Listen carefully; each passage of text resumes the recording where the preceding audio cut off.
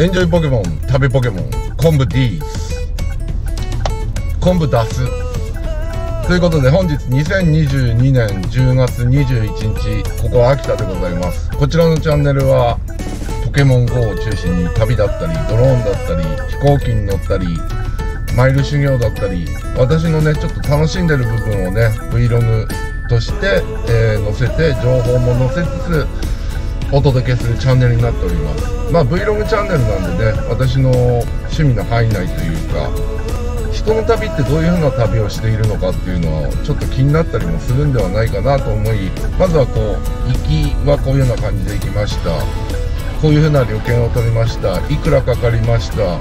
まあ、今回は海外なんでねコロナ禍の海外ということもあって台湾の方の入国状況は日本に入国するときはというそういった情報もね載っけつつちょこちょここうアップしていければと思います。まあメインはね、えー、ポケモン GO のイベントにはなるんですけども、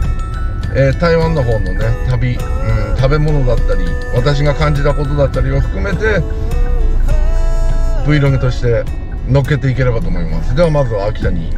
秋田空港に向かいます。はいということで秋田空港秋田空港到着です。今回のお時効ではこうなります。灰色ばっかりネズミ男ではではチェックインしていきたいと思います。まずは東京まで今回は JAL で飛び出します。おしゃれな秋田犬、うん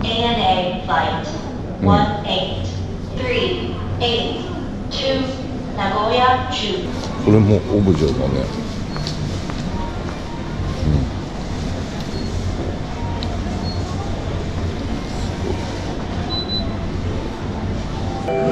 お座席の順番でご乗車いただきます。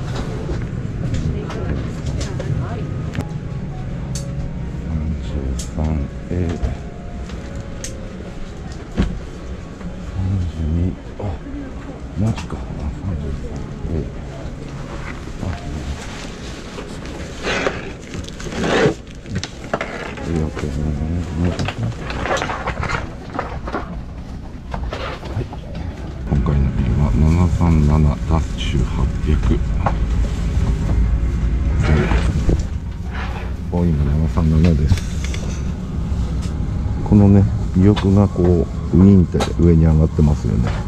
あれでこう燃費効率が25%ぐらい良くなるらしいですね。あここからエンジンは見えねえ。エンジンは見えね